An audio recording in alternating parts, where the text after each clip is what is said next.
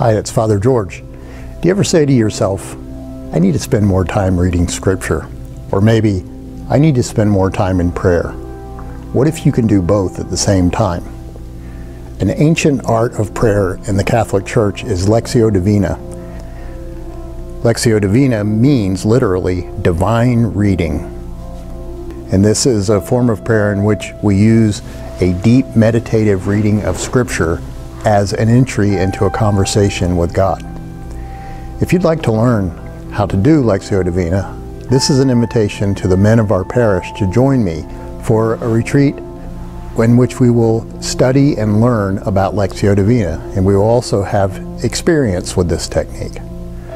I hope you can join us. You can sign up at the parish office or on the parish website. Also, if you are planning on attending the retreat, it'd be a good idea for you to sign up uh, for our FORMED platform, which is on our website. So I look forward to seeing you and learning about this wonderful ancient form of prayer from our Catholic tradition. God bless you.